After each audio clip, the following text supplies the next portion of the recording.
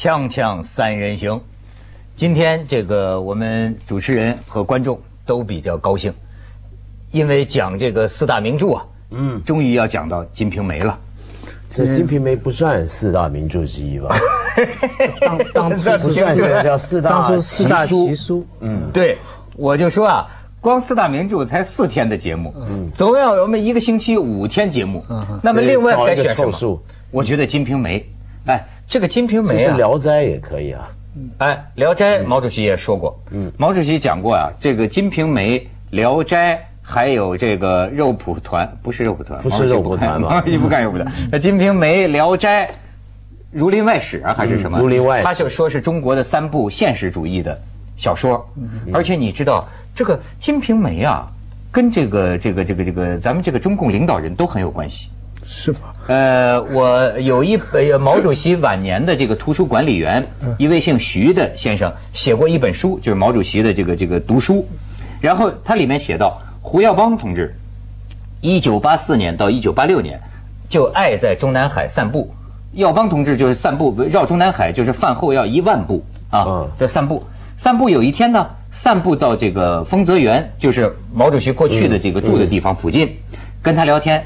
他说我记得很清楚，就是胡耀邦同志听说我是给毛主席晚年搞这个图书工作的，他问的第一个问题就是，金瓶梅有吗？不是，他问的第一个问题 就是，毛主席晚年是不是天天看《金瓶梅》？然后这位这这位徐先生说没有，说我们很清楚，他这个晚就是过世之前十几年，肯定没有在我们这儿借过《金瓶梅》看。他说，但是我可以负责任的告诉你，毛主席对《金瓶梅》相当有研究，因为不下五六次啊，在中央会议上，中央高级干部会议上，毛泽东就讲这个《金瓶梅》。因为他对《金瓶梅》这么大的兴趣啊，所以呢，当年这个《金瓶梅》在高高等级干部当中小范围解禁，就因为他让这个省级以上干部，你们都应该读读《金瓶梅》。真的，其实当年我想全国初中生都对《金瓶梅》很感兴趣。看不着啊 对啊，就是他应该让全国解禁，老百姓哎，徐老师都能怎么看看。偷看呢？我读研究生嘛，嗯，读了中文系的研究生，我们就可以进书库。我就是说，不是在外面借，外面借，那你一般的《金瓶梅》不稀奇了，对不对？那三节本，嗯，施之纯删的，我们施之纯就是我们的老师，我们我碰每次碰到施先生就想，干什么删这么多？然后以中文系研究生申请了一个特批，就进到图书馆。华东师大的藏书是上海第二的，嗯，在那个图书馆的一个角落里，张竹坡评本啊，嗯，这个天天下第一奇书，嗯，我这个度陪我度过了多少个日夜啊！哦，日的夜？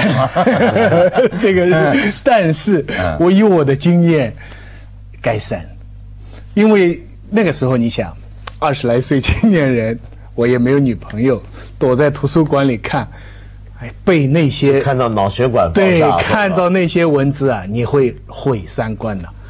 真的是，所以很多其他的毛主席夸奖的、鲁迅称赞的，后来很多人，我自己后来也重新才悟到的，跟《红楼梦》一样的水准，中国第一部文人创作的，以技术水准来说是中国最高的小说，当时全没看到。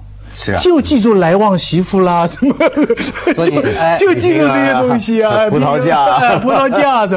后来后来我跑别的地方啊，跑日本，天理大学说有一版本跑来，怎么知道它全不全呢？葡萄架。跑到东京大学看一本，那那日本还能手摸啊？你你北大的你那个原本的对你手都摸不到，所以你跟你跟主席的这个水平就不能比了。主席早已经过了这些关了，对所以主主席直接指出，就说《金瓶梅》是《红楼梦》的祖宗。哎，这个见解很文学史的，对吗？绝对是。说没有《金瓶梅》，一般就没有《红楼梦》，绝对的而且主席甚至说呀，嗯说《金瓶梅》，您看人主席就是说。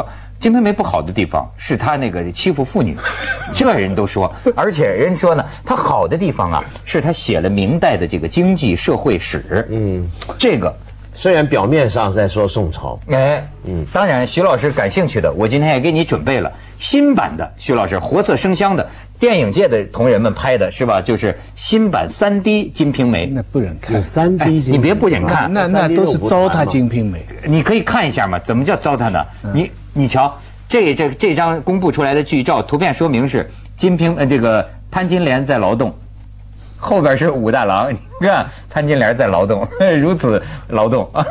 你再看下边在和面呢，你看没？看下边这是潘金莲跟这个武二。勾引武松遭拒嘛，这武松看着就快绷不住了。这个我上次讲过，三部呃《水浒》、那个《三国演义》跟《西游记》，嗯，都是由俗变雅，就是它本来是民间集体创作，然后经过文人整理，登上了四大名著的宝座。《红楼梦》跟《金瓶梅》是由雅变俗，嗯，那红楼的变俗是因为陈高本把它变成主流，大家能接受，最后越剧等等。《金瓶梅》的变俗就更惨了，它本来是讲金的，后来变黄。金是什么？金就是钱呐、金瓶梅》《金瓶梅》一定要懂一个“金”字。我那个时候读啊，我说实在话，我不相信，因为它上上下下打点，钱能通关，通关对很多事情，女人都靠钱。我当时觉得夸张了吧？我那个时候八十年代读啊，单纯啊，我以宝玉之心读《金瓶梅》啊，嗯，我觉得夸张了。近年来的社会发展了以后一发现全是写实啊，哪里夸张？你看啊今天这个世界越来越《金瓶梅》了。我觉得我很喜欢《金瓶梅》，对吧？甚至真是有一段时间呢，超过这个《红楼梦》，因为我觉得啊，他是祖宗，还真是毛主席说的对，他那个祖宗啊，就特有的那种地道，这个地道，曹雪芹呐，你还能感觉到啊，他是个文人，对吧？它加工了，高于生活对，了，高于生活，那个就是生活。但是《金瓶梅》的那种地道啊，我就说啊，它甚至采用的语言，你看好多字儿，对对就是它山东那个地方的方言。对对对然后呢，他写的这些，你说今天讲什么莫言 这些，不不是讲不讲莫言，什么现实主义作家，我觉得真要就对市井语言的这种地道，而且这种地道背后啊，有一种观察，就是我就觉得啊，你看啊，这个伟大文学作品，我最近岁数大了呀，我老是发生疑问，就你们这些搞文学史的，我觉得，比如说咱们那天讲到啊，安娜卡列尼娜，那么我小时候就是说，哎，托尔斯泰在这部小说里啊是同情安娜卡列尼娜，批驳了这个卡列宁，我当时就姑且这么听之。到了这个《红楼梦》，又说这是批判了这个封建制度、封建家族。我水平低啊，我怎么看不出来？我觉得伟大的文学作品呢，恐怕很难说他批判了谁，他丑化了谁，或者他打击了谁。我总觉得他是一个一个观察。比如说，对于西门庆的这种生活方式，你看中国说书人的这种口吻，你说他是揭露，他是讽刺，他是羡慕，是艳羡，是赞美，是批判，你可以说都是，也可以说都不是。他就是那么一种娓娓他。一两句批判，然后九十句在那里欣赏的描写。哎你上来就说泼皮啊，什么这个流氓啊，这个降妇女的领袖什么，然后接下来就津津乐道的细节，吃什么穿什么怎么怎么，哎真是但是我觉得这里面还有一个问题啊，就常常被忽略。我们都觉得时间上讲，他是《红楼梦》的祖宗，这一般的看法。但是从文学技法的表现上，某程度我觉得其实它比《红楼梦》更现代。对。哎，《红楼梦》是更加，它更加贴近现代现代主义所讲的心理小说。嗯，当然两者都对女性心理的刻画很很丰富，但是《红楼梦》呢更多一种古典文学的一种浪漫化的色彩。哎但是《金瓶梅》是非常的自然主义，而且它很冷酷。嗯，它用俗话写东西啊，是日常老百姓的俗话，但它非常冷酷。它那种冷是一种真的是很现代主义的冷。天地不仁你比如说，我举个例子啊，你就说大家最喜欢谈那些性爱场面，你仔细看多几，就就一路看下来啊，你会无比的厌倦，嗯，对不对？它是机械化的，它是由机械艳羡到厌倦。对，它机械化，而且呢，你会发现它越写呢越阴森。你记不记得里面潘金莲养了一只猫嘛？嗯，那个猫不是叫雪狮子还是什么？不是后来攻击西门庆那个孩子那个官儿，对不对？咬伤，后来官儿不是给害死了嘛，对不对？他李瓶儿因此就就对，没错，就这么就完了嘛。然后他就害他，但是呢，那个血狮子是怎么样？好几场我记得是西门庆跟潘金莲在做爱的时候，在搞的时候，他们说，嘿，忽然觉得怎么房里头冷飕飕的，有什么东西盯着咱们？一看，说那只猫冷冷的攀在一个角落看。他这么写了一笔，他回头继续写他们怎么搞。嗯，然后后来呢，你再想想看，西门庆。他他那种冷热的那种对比啊，其实这个书特别适合过年看，因为我们要记得西门庆什么时候死的，就是过年的时候死的嘛。哦，是吗？春节之后嘛，外面是瑞雪遍地，放鞭放烟花放鞭炮。然后他的欢天喜地，他跟潘金莲不是搞最后一回精尽人亡，精尽人亡，真的。然后就整个世界是最该高兴的时候啊，赢了到最后，啪！你刚才那么说，我都想起那个最后那一幕，我都想起那个大岛主的那个感官世界，对啊，这种感觉。你想他最后都搞到那个样了，还吃那个西域来的那个僧人给的春药，那就是要往死里搞啊，他就是。这个太可怕，所以过年真是我应该通通金瓶梅啊！我还有图像给你们看。哦，还有锵锵三人行，广告之后见。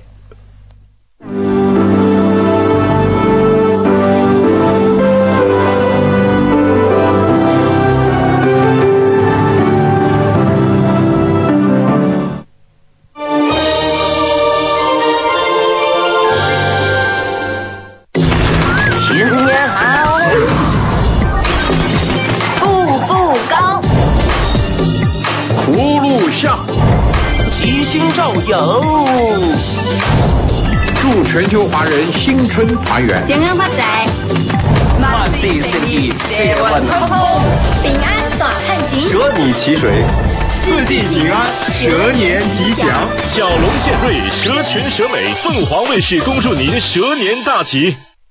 秉九韵古法，配桃花春曲，采无极之水。汇原酒精华，年份暖江，古井贡酒。从五四宪法到八二宪法，中国先后颁布了四部宪法。回望六十年，四部宪法的制定有着怎样的时代背景？如何真正保障宪法的实施，维护宪法的尊严？中国政法大学法学院教授王仁博阐述：回望中国宪法六十年，世纪大讲堂，星期日凤凰卫视中文台。十八年前，他在春晚成名。现在唯一一个还坚持在跳舞的人，就坐在你的面前。真的。十八年后，他登上世界舞台。我当时就说：“哎呀，这怎么可能呢？两个穷留学生像开玩笑一样。”黄豆豆的改变与坚持。阳光保险名人面对面，星期日凤凰卫视中文台。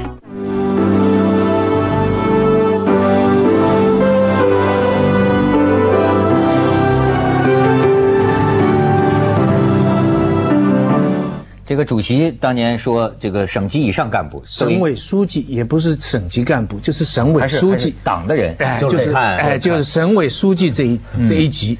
对，到后来看来是到了现代，标准有所放宽。我觉得有一个省级干部是这个超额贯彻了毛主席的这个指示，谁呢？就是原来的江西省的副省长胡长清，他的这个枕边读物，呃。就是毛主席说的《金瓶梅》，他副省长不应该看嘛？人家书记。结果他不但看，不但看了《金瓶梅》，而且他自己还加了两本，一本是《肉蒲团》，一本是《素女心经》。这个胡长清最后就是色官嘛，被拿下。而且我就是说啊，《金瓶梅》描写的这种享乐啊，对中国人呐是款款相通的。你不信啊？我再给你看我们今天一个卡片啊，讲一个新闻是真的。你看这个照片。二月二号，位于河南省鲁山县上汤镇的瑶山福泉，天哪！二月二号开业，一位山西老客花费十万元拍得帝王头汤，他现在享受的这叫帝王头汤，在开业现场做帝王呃这个亮相，在嫔妃宫女太监们的服侍之下，享受了帝王待遇和福泉头道汤的待遇，场面香艳，观众围观。这这山西后面那些是什么人啊？围围观的，就普通老百姓啊，看热闹的。他来享受这个，还让他享受的就是大家可以看他，但是这不懂啊。西那个《金瓶梅》里边，你看他虽然他有六个太太，他还有很多丫鬟，但是那个六个太太她从来不三 P 的。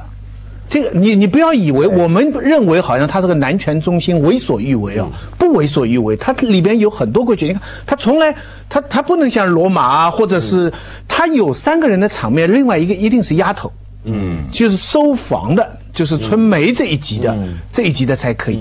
另外，他如果跟丫鬟级的人要做的话，他在他这个院子里，他虽然是主人，他可以把哪个老婆拿来跪下来打。但是他要越级跟奴才发生，他得到山洞里去，记得吧？哎他说是冰天雪地冷的要命，对啊，这个冷冷的要命在那里，因为你看好像是可以跟丫鬟春梅什么的一块儿。那是分收房级的，，分级的那嘛。那那丫鬟是派给他房里，就像袭人跟宝玉这样的关系。嗯对你把他收下来，这是可以。那个是那个来旺媳妇是那个下面帮他工作人员的老婆，就是说他不是乱伦，他有他的伦理。他绝对里边有一套，他像这个乱乱学，这个完全不对的。那个西门庆也不可以这样，西门庆里边也没有这样，中国过去的帝王也没有这样，对。对不对？嗯。而且我觉得这个《金瓶梅》里面啊，他那种呃，他那种就像我们昨天讲的，比如我们不是前几天开玩笑，我说四大名著是三大皆空嘛。嗯其实要是把《金瓶梅》算上去，那真是四大皆空。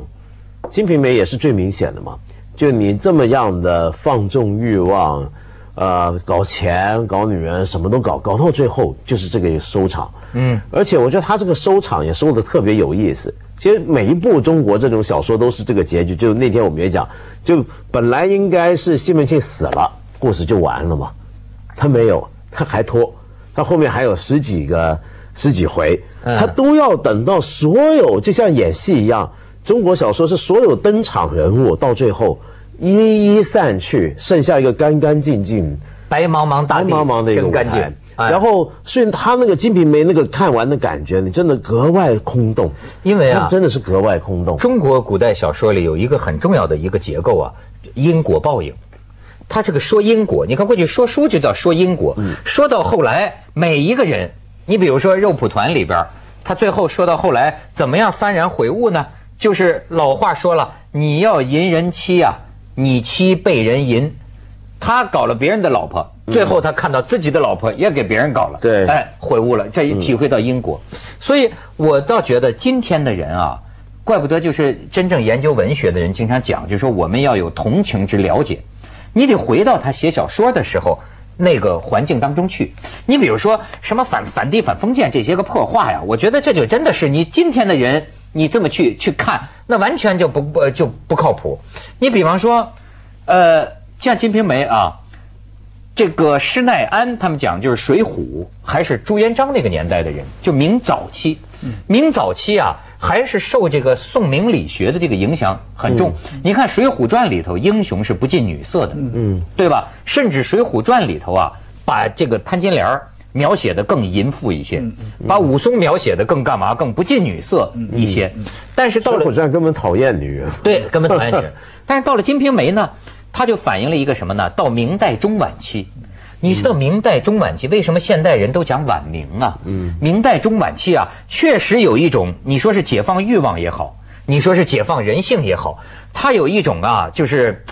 比如说是享受生活、追求生活趣味，哎，甚至是明晚期的很多文人，他养着自己的很多姬妾，在一块儿啊，这个这个胡天胡地，或者说是呃唱曲儿作乐，哎，他这种生活方式，呃，特别套套用我们现成的唯物史观，就是因为经济发展了嘛，因为中国进入了商商业社会，这个《金瓶梅》就是商业社会，它就是一个商人的生活。我为什么讲突出金，就这个道理。但是它是一个商人社会的这个问题，而且它这种写法吧，虽然它最后是有报应，但它整个你看九十多回啊，大部分啊，它是不惩罚的，它甚至在欣赏的。这种写法啊，其实也蛮多的。你比方说，呃，我后来读莫泊桑的《俊友》。也是啊，这个哎，这个呃那个那个就是那个俊友叫什么漂亮朋友，对不对？他里边对女的都很耍手腕，他最后他也没有报。后来我们看到，比方说像呃钱钟书的《围城》哈，他也是这种写法，就是这个主人公方鸿渐也没什么没没，他不是一个好人呐，他或者说。谈不上是一个正面人物，哎，但是他把他写写写写，就这么不断写下去，他不是有一个正面人物出现的，是，你知道，到从当年呐、看《金瓶梅》啊，就上瘾啊。我看过一个呃呃笔记杂杂文哈，里边记载就是当年金圣叹这个写的那个，就这种便便条啊，小小小纸条，就就就跟他一个朋友说说你借走了我的《金瓶梅》啊，你就不还我。但是金圣叹讲话很幽默，说《金瓶梅》料已成送否？就是说，是不是你都已经背过了，你还不还给我？锵锵三人行，广告之后见。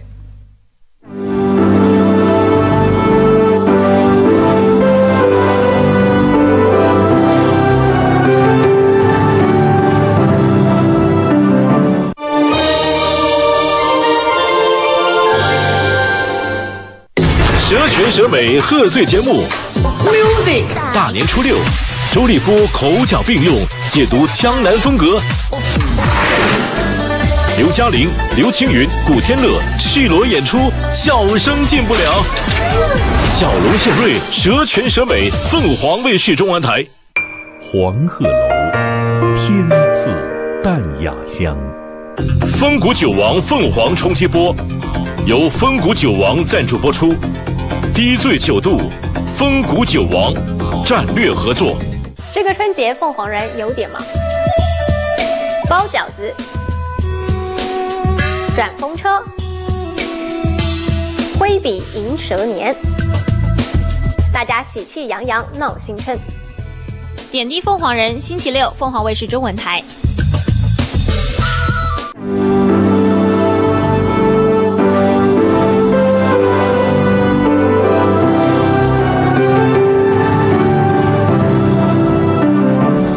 我觉得徐老师说的这个有道理，就是说啊，呃看这个古代的这种小说啊，不好说他批判谁，他赞美谁。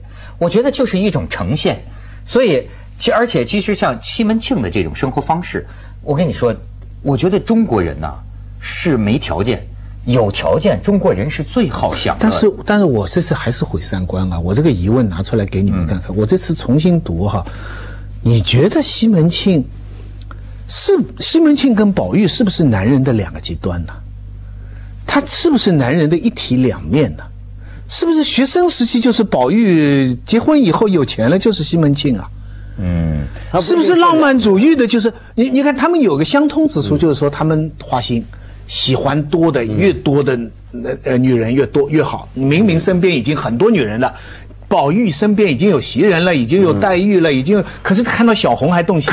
啊，看到看到谁谁谁看到。对不对？那西门庆更更不讲了，身边一大堆，还要去找什么李桂姐啊？宝，但是他们两两个人宝玉是情，西门庆是欲，那是年龄关系啊。就。情和欲，哎，不是，不是。我觉得也不只是，我我觉得跟年龄，我觉得还不只是年龄关系，我觉得他们两个都不是现实存在的人物，对，他们两个是不是男人的两个极中端？间，也许就是一般现实存在的人了。他们两个是作为一种人的一种的典型啊，推到极端的典型描写。我我而且，嗯所以我觉得《金瓶梅》，当然我不我不会说它有一个道德谴责，但是我觉得，呃，《金瓶梅》的确想把这个东西写到非常彻底、非常极端。我们所谓的所谓现实呈现啊，明朝中末期，并不一定真的是坏成这个样子，这是不一定的。而且怎么它个坏？我觉得太好了，就没有他那么腐败啊。用我们简单的讲法讲，没有那么腐朽腐坏，而且那个也不一定是晚明，坦白讲，甚至比晚明早。中对，应该是中明，因为你想想看，这里面连连昆曲都没出现过。不是因为你晚明小说一定有昆曲。我给你们看两张，我给你们看两张照片啊，还有我们可以看看啊。哎，春宫想不想看？你看，这是呃清清清代人眼中画的啊。你看他这个春宫画啊，你看这是他们给遮住了啊，就是，哎，这是一种生活方式。跟自己的这个妻妾成群，在自己的庭园里，你看酒肉瓜果，而且你别光故意他们搞啊，你看看他们是一个什么样的生活环境，花园这个树是很有生活趣味、很有生活品质的。你在这方面，大家不要老关心这个性，我觉得，但我我讲完那个啊，就我觉得并不要去那么强调说它所谓呈现现实，它固然有呈现现实的部分，但是它其实是一个非常极端的一个现实。它在那个极端之后，它反过来其实它是非常哲学化的，它是要指出这么极端的一个状况下，可以看到很多事情的本质的空洞。